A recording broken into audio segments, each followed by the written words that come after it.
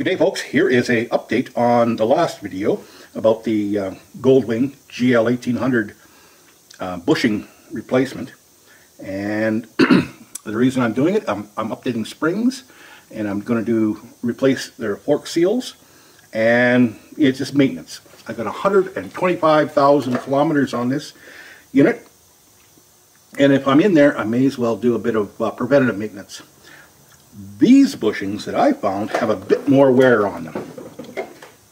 Okay, the outside of this bushing, as I showed you in the last one, um, there's less of the copper showing and more steel or whatever the the um, the um, metal is.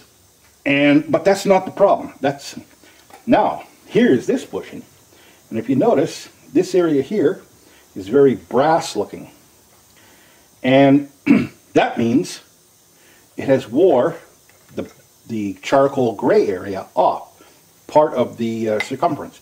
The charcoal gray area is what moves against the lower fork tube right there.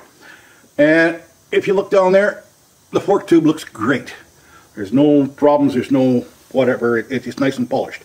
No doubt it's wore a bit, and if you can see here, it's probably missing. Now, I am going to replace these bushings, which are very simple to replace when you're doing fork seals, just because the inside of this bushing still has all its uh, gray, charcoal gray bushing material uh, distributed all the way around the inside, so I don't think it's wore, you know, right down to the, uh, the backing plate, whereas this one is wore down to the backing plate. And so anyway, that's the update. Um, a little bit of preventive maintenance, and away we go.